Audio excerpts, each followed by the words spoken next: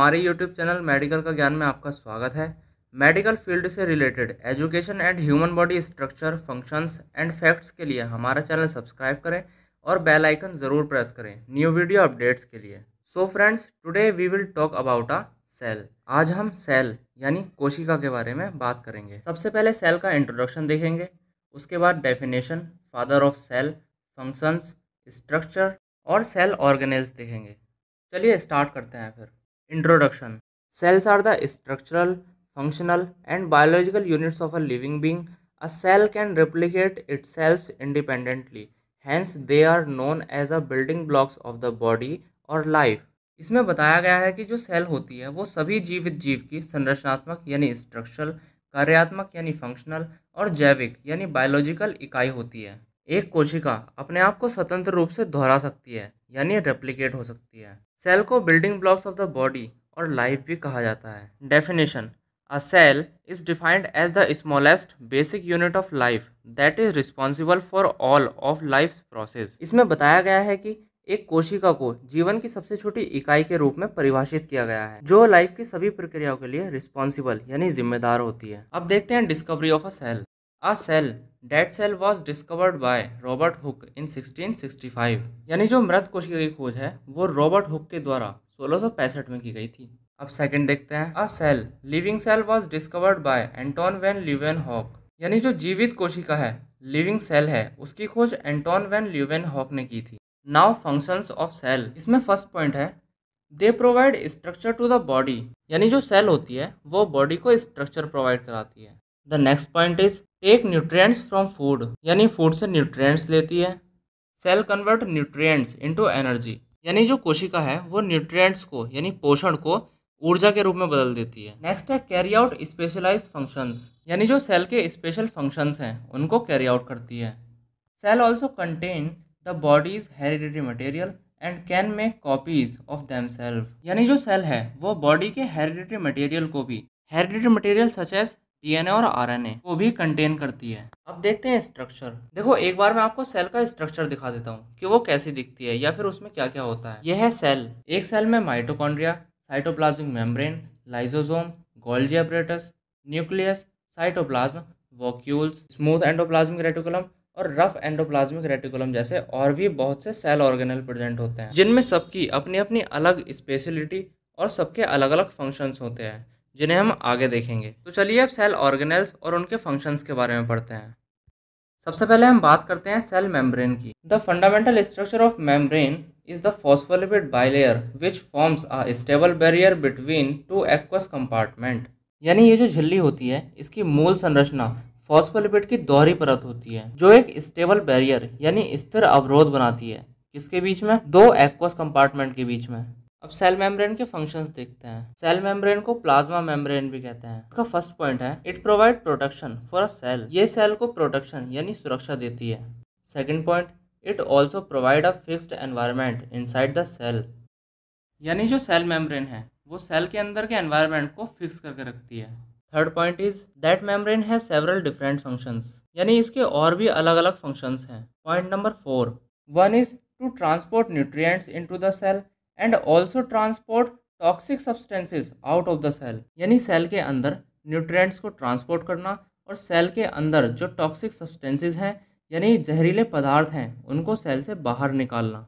Next है हमारा nucleus the cell nucleus is a membrane bound structure that contains the cell's heredity information and controls the cell's growth and reproduction as the nucleus regulates the integrity of genes and gene expression it is also referred to as the control centre of a cell तो केंद्रक क्या है?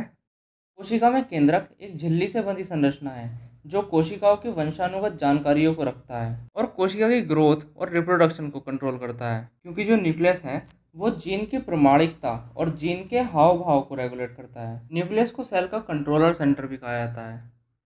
अब इसके functions देखते हैं।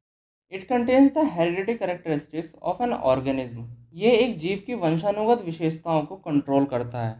The organelle is also responsible for protein synthesis cell division, growth and differentiation ये जो ऑर्गेनल है ऑर्गेनल से मतलब है सेल ऑर्गन तो ये जो सेल ऑर्गन है ये प्रोटीन संश्लेषण यानी प्रोटीन सिंथेसिस कोशिका विभाजन यानी सेल डिवीज़न वृद्धि ग्रोथ एंड विभिन्नता, यानी डिफरेंशिएशन के लिए भी जिम्मेदार होता है। Storage of hereditary material the genes in the form of long and thin DNA deoxyribonucleic acid strands referred to as a chromatin यानी जो हेरिडेटरी मटेरियल है, उसकी स्टोरेज लंबे पतले डीएनए स्ट्रैंड के रूप में जीन के साथ होती है, जिसे क्रोमेटिन कहते हैं। Next is storage of protein and RNA ribonucleic acid in the nucleolus RNA और प्रोटीन की जो स्टोरेज होती है, वो न्यूक्लियोलस में होती है। न्यूक्लियोलस कहाँ होता है? ये आप लोगों को खुद पता करना है और कमेंट में बताना है। Next point the nucleus is a site for transcription in which messenger RNA mRNA are produced for protein synthesis यानी न्यूक्लियस जो है ट्रांसक्रिप्शन प्रोसेस की एक साइट है, जिसके अंदर प्रोटीन का सिंथेसिस यानी संश्लेषण करने के लिए मैसेंजर आरएनए या फिर जिसे एमआरएनए भी कहते हैं, उसका प्रोडक्शन होता है। Next point is during the cell division chromatins are arranged into chromosomes in the nucleus यानी जब सेल डिवीज़न होता है तो न्यूक्लियस में क्रोमेटिन्स जो होते हैं, वो क्रोमोसोम्स के अंदर अरेंज हो जाएँगे। Next is production of ribosomes protein factories in the nucleus यानी राइबोसोम्स का प्रोडक्शन न्यूक्लियस में होता है। देखिए, ये जो राइबोसोम्स के आगे प्रोटीन फैक्ट्री लिखा गया है ना ब्रैकेट में, इसका मतलब है कि राइबोसोम्स को प्रोटीन फैक्ट्री कहा जाता है। वो आपको आगे पता चलेगा कि क्यों कहा जाता है। Next is selective transportation of regulatory factors and energy molecules through nuclear pores यानी जो रेगुलेटरी फैक्टर्स और ऊर्जा अणुओं का सिलेक्टिव ट्रांसपोर्ट है, यानी चयनात्मक परिवहन है, वो किसके द्वारा होता है? परमाणु छिद्रों के माध्यम से होता है। अब आता है हमारा endoplasmic reticulum endoplasmic reticulum E R in biology a continuous membrane system that forms a series of flat and sacs within the cytoplasm of eukaryotic cell serves multiple functions being particularly in synthesis, folding, modification, and transport of protein. यानी जीव विज्ञान में endoplasmic reticulum एक continuous membrane system है, जो eukaryotic कोशिकाओं में, यानी जो यूकैरियोटिक सेल्स होती हैं, उनमें एंडोप्लाज्म के साथ चपटी थैली की एक सीरीज़ बनाती है और विशेष रूप से सिंथेसिस और प्रोटीन के ट्रांसपोर्टेशन में महत्वपूर्ण होने वाली कई कार्यों को पूरा करती है। There are two types of endoplasmic reticulum rough endoplasmic reticulum and second is smooth endoplasmic reticulum endoplasmic reticulum जो होती है, वो दो प्रकार की होती है। पहली कौन सी है? रफ एंडोप्लाज्मिक रेटिकुलम यानी खुरदरे एंडोप्लाज्मिक रेटिकुलम और दूसरी smooth endoplasmic reticulum rough endoplasmic reticulum the rough endoplasmic reticulum has on it ribosomes which are small round organelles whose functions it is to make those proteins it produce proteins for the cell functions यानी खुरदरी अंतर प्रद्रव्य जालिका में ribosomes होते हैं, जो कैसे होते हैं? छोटे छोटे होते हैं और जिनका आकार गोल होता है। ठीक है? फ़ंक्शंस जो होता है इनका वो क्या है? प्रोटीन को बनाना है। यानी जो सेल के फ़ंक्शंस के लिए प्रोटीन यूज़ होता है, उसको बनाने में हेल्प करना है। Smooth endoplasmic reticulum the smooth endoplasmic reticulum functions in many metabolic process it synthesis lipids phospholipids as in plasma membrane and steroids यानी जो चिकनी अंत जालिका है, उसमें बहुत सारी मेटाबॉलिक प्रोसेस होती है। मेटाबॉलिक प्रोसेस यानी चैप चैप प्रक्रियाएँ होती हैं। स्मूथ एंडोप्लाज्मिक रेटिकुलम लिपिड और फॉस्फोलिपिड्स को प्लाज्मा झिल्ली और स्टेरॉइड्स के रूप में सिंथेसिस करती है। अब आता है mitochondria mitochondria is also called the power house of the cell यानी माइटोकॉन्ड्रिया को कोशिका का ऊर्जा घर भी कहा जाता है। नेक्स्ट है Mitochondria generates most of the chemical energy needed to power the cell biochemical reactions. यानी माइटोकॉन्ड्रिया सेल्स में बायोकेमिकल रिएक्शंस के लिए आवश्यक ऊर्जा का प्रोडक्शन करता है। Next point double membrane are present in mitochondria यानी माइटोकॉन्ड्रिया में क्या होता है? दो झिल्लियाँ प्रेजेंट होती हैं। Next point this is the site of aerobic respiration in the cell यानी जो माइटोकॉन्ड्रिया होता है, वो एरोबिक रेस्पिरेशन यानी वायवीय श्वसन की क्या है? एक साइट है जो सेल में होती है। Next point mitochondria is the second largest organelle in the cell यानी सेल में दूसरा सबसे बड़ा कोशिकांग क्या है? माइटोकॉन्ड्रिया है। Next point it helps in vitellogenesis यानी माइटोकॉन्ड्रिया विटेलोजेनेसिस में हेल्प करता है। Next chemical energy produced by the mitochondria is stored in a small molecule called adenosine triphosphate यानी एटीपी यानी माइटोकॉन्ड्रिया से जो केमिकल एनर्जी निकलती है, उसको एडिनोसिन ट्राइफॉस्फेट नाम के छोटे छोटे मॉलिक्यूल्स में स्टोर किया जाता है। Next point mitochondria were first discovered by Kolliker in voluntary muscle of insects सबसे पहले माइटोकॉन्ड्रिया की खोज कोलिकर ने 1880 में की थी और कहाँ की थी? कीटो, यानी इंसेक्ट्स की मसल्स में की थी।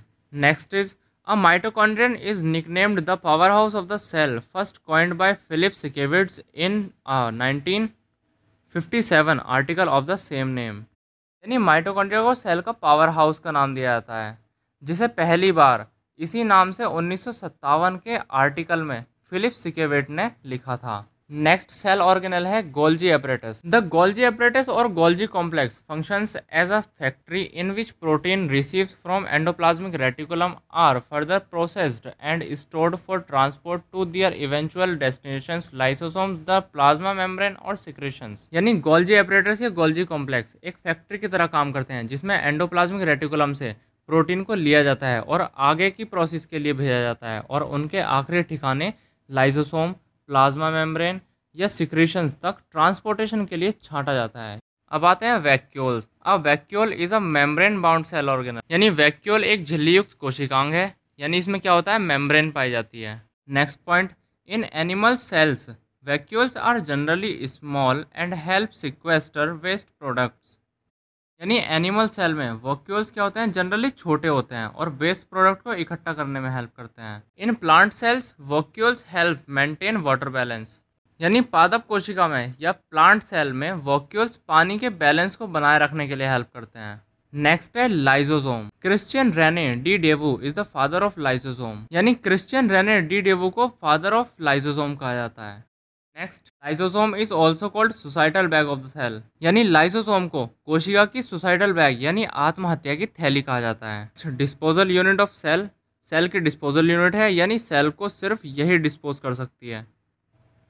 तो बस यही था सेल का बेसिक अगर आपको कोई भी डाउट लग रहा है तो कमेंट बॉक्स में ज़रूर पूछना। और अगर आपको मेरे समझाने का तरीका पसंद आया है तो हमारी वीडियो को एक लाइक ज़रूर दें। वीडियो के अपडेट्स के लिए और इंटरेस्टिंग फैक्ट्स को पढ़ने के लिए, हमारा इंस्टाग्राम पर एक पेज है मेडिकल का ज्ञान उसको ज़रूर फॉलो करें। ओके बाय नेक्स्ट वीडियो में मिलते हैं।